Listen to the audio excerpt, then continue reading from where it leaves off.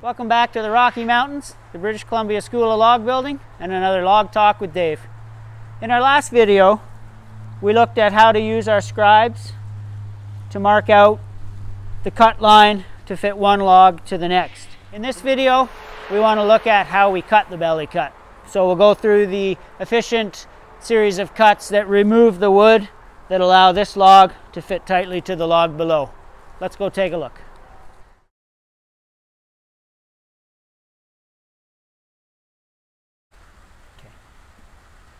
I want to demonstrate the series of cuts used to remove the wood from the belly groove along the length of this short example log. You can see that the scribe line has been significantly darkened just for visual purposes in the video. If we look on the end grain of the log, we see a series of marks here.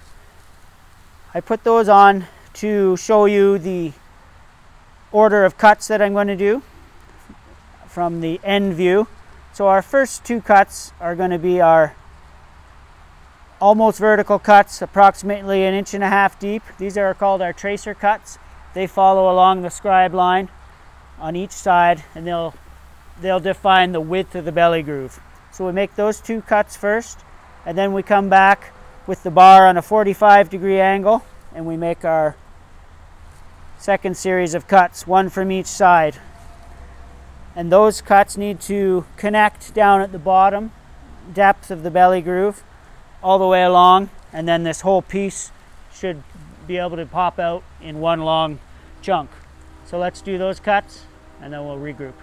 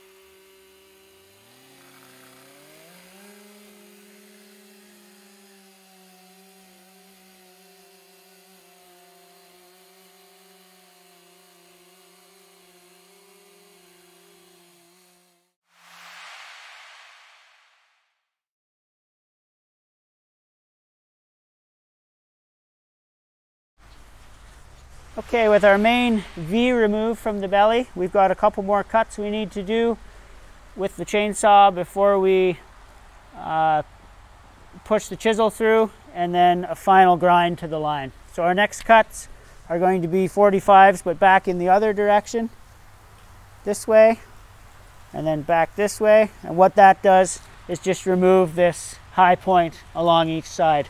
So I'll take those two ridges off and then I'll just make a series of uh, just full length cuts, just removing the bulk of the material and then getting it ready to slick it through with the chisel.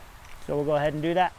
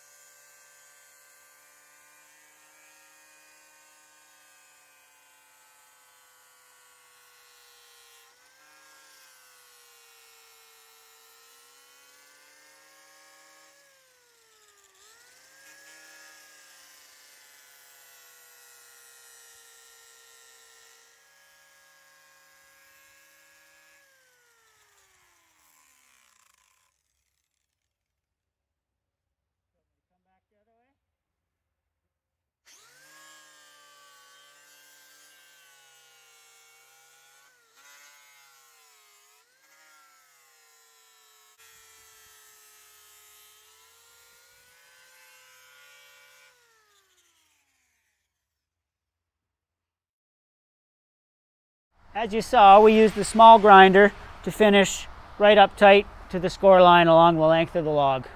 And that's the last step that completes our short demonstration on how to cut the belly groove.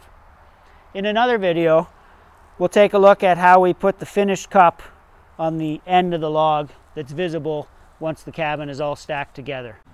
I just want to make one last comment on the depth of the belly groove.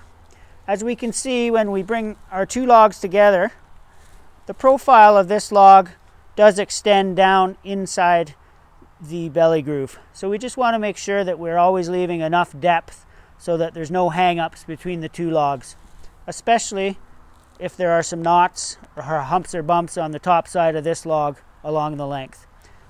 We also want to ensure that we leave enough room to have a foam P-gasket on both sides of the belly groove, as well as some sheep's wool or fiberglass insulation along the length of the belly groove.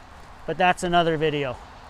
Thanks for watching this log talk with Dave. Think about joining us for a log building course at the British Columbia School of Log Building. Until next time, be safe and have fun.